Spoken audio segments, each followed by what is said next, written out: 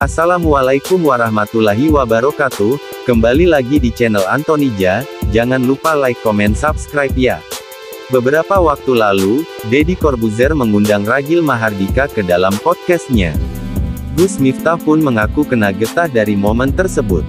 Seperti diketahui, Deddy Corbuzier menuai hujatan netizen lantaran dianggap mempromosikan LGBT dengan mengundang Ragil Mahardika. Hujatan netizen tersebut merambat hingga Gus Miftah mengingat Deddy Corbuzier yang berguru padanya sebagai seorang mualaf. Di medsos, saya selalu di tag, tuh nasihati muridmu, tuh salahnya pilih guru kayak Miftah, kata Gus Miftah.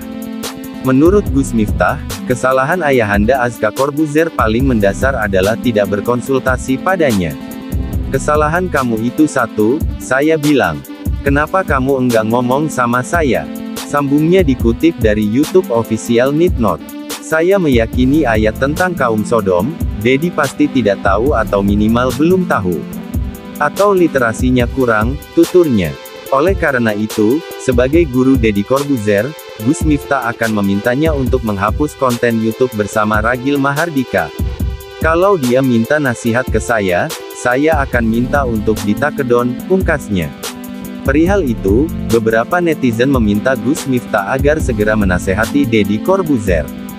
Sampaikan untuk takedon, tulis seorang netizen, mohon Gus kasih pemahaman ke Deddy, kata netizen lain, sudah aku duga, Gus Miftah pasti turun tangan, ujar netizen lainnya.